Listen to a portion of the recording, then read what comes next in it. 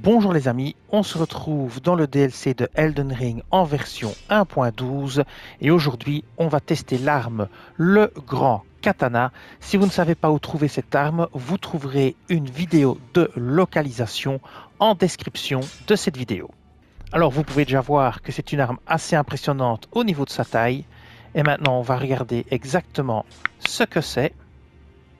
Le grand katana, c'est tranchant, perçant, sa capacité spéciale c'est quinte, les coups en magie sont de 8 et de 10, le poids est de 9, les bonus d'attributs sont force D, dextérité D lorsqu'il n'est pas amélioré, les attributs requis sont force 14, dextérité 18, sa puissance de garde non améliorée c'est physique 60, magie, feu, foudre sacré 30 et la garde d'état 35, ça accumule du saignement 55. Sa capacité spéciale, c'est quinte, une compétence qui vous met dans une posture de combat, l'arme tenue en l'air. Vous partez de votre posture et avancez pour effectuer une attaque normale, puis reculez en frappant à nouveau. Vous pouvez également asséner une attaque puissante pour administrer plusieurs coups vers le bas. On va maintenant l'améliorer et je vais faire tout le processus d'amélioration pour que vous puissiez voir comment évolue l'arme à chaque palier. Elle s'améliore avec des pierres de forge normales et c'est parti.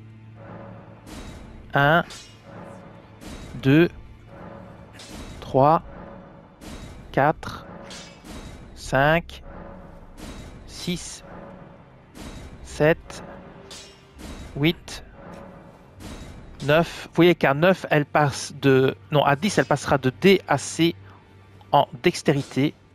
Donc 9,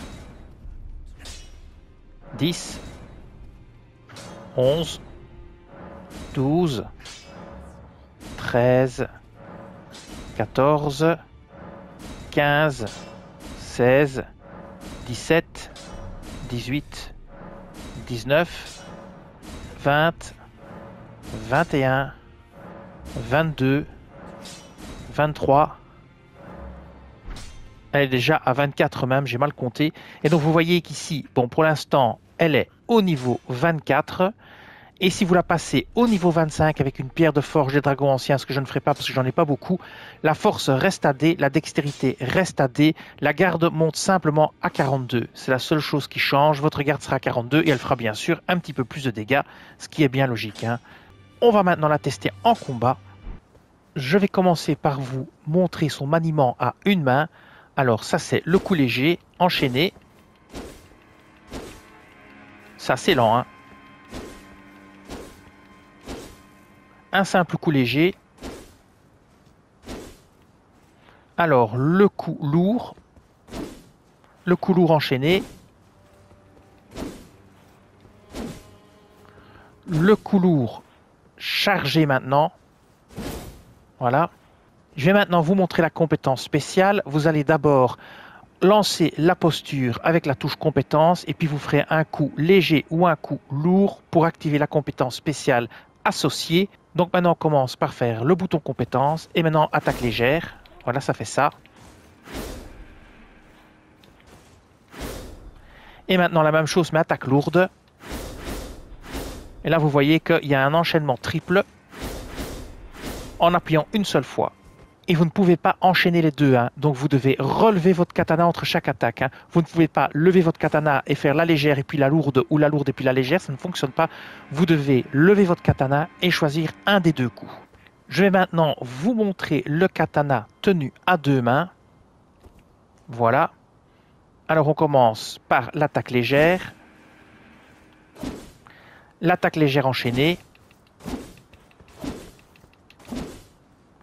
l'attaque lourde. L'attaque lourde chargée. Et maintenant la compétence spéciale avec le katana à deux mains. On le lève et on frappe. Ça c'est toujours pareil, c'est le léger et ça c'est le lourd. Et il n'y a rien qui change. Voilà. J'ai bricolé un petit build rapide pour voir les dégâts que ça peut faire sur le géant. N'oubliez pas que je suis en New Game++, je ne sais plus combien. Donc c'est pas les ennemis de base d'Elden Ring, c'est des vrais sacs à PV et ils feront beaucoup de dégâts. J'ai pris le masque blanc, il est moche, mais il augmente le saignement.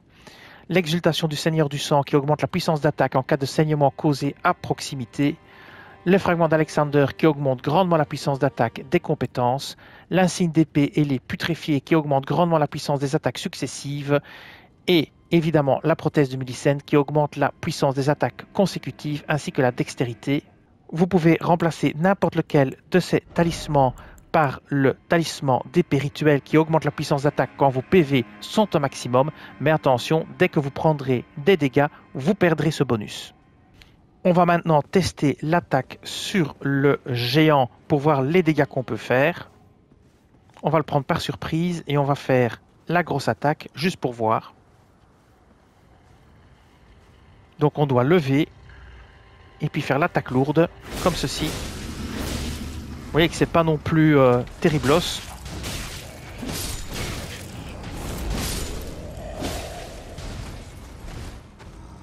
Alors c'est pas toujours évident de placer cette attaque, parce qu'il faut lever le avant. Mais vous voyez que c'est quand même efficace. Alors moi je suis pas un très bon joueur de contact, mais voilà, il est mort. Mais tenez bien en compte que je suis pas un très très bon joueur au contact, hein. j'ai pas l'habitude de jouer comme ça au contact. Maintenant, on va tester l'arme sur un chevalier blindé de Lendel. Alors on va le prendre par surprise et faire l'attaque triple. Alors il faut chaque fois lever le katana, ce qui je trouve un peu embêtant. Donc on lève le katana et on tape. C'est parti. On va essayer d'enchaîner. On va lever le katana. Hop. Oui, il faut quand même lever le katana avant, c'est pas forcément évident.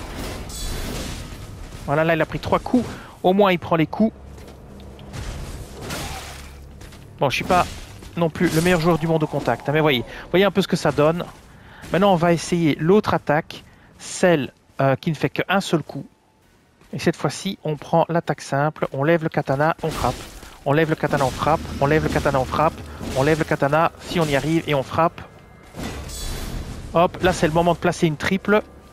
Parce qu'elle enchaîne, voilà. Cette fois-ci, j'ai un petit peu mieux réussi mon coup. Mais voilà, c'est quand même pas super, super évident. Moi, je suis pas très bon au contact. Maintenant, on peut essayer avec le talisman rituel pour voir si on fait pas plus de dégâts dès le départ. On va enlever la prothèse de Millicent et on va utiliser ici le talisman d'épée rituel. Voilà, comme ça on aura direct un bonus d'attaque et on va retester ça. Alors ici on a mis le talisman d'épée rituel en plus. On va commencer par une attaque triple. On enchaîne tout de suite. Avec le katana. Vous voyez, c'est pas si mal. Hein.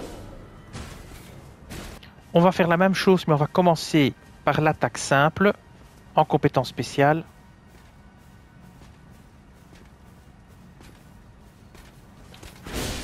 Et on enchaîne tout de suite. Maintenant, on lève et on recommence. On recule.